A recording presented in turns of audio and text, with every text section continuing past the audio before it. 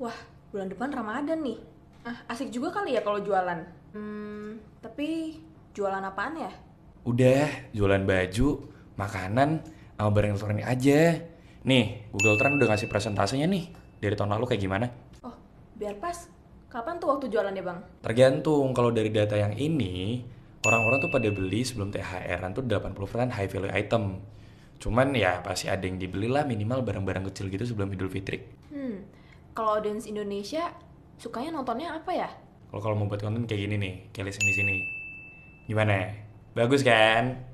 ASMR, makanan di YouTube gimana? Nah, tuh kan udah keluar idenya masih berbau makanan li.